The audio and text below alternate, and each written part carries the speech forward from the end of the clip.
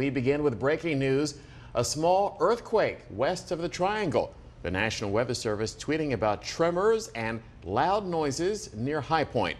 Meteorologist Don Schwenneker is here with your first alert forecast, and he's going to tell us what happened here. Don? Yeah, it was only a 2.2, so may not have, you may not have even felt it. Uh, but folks out in Burlington, Alamance County, you're close to the epicenter out there, and uh, we don't get those very often around here.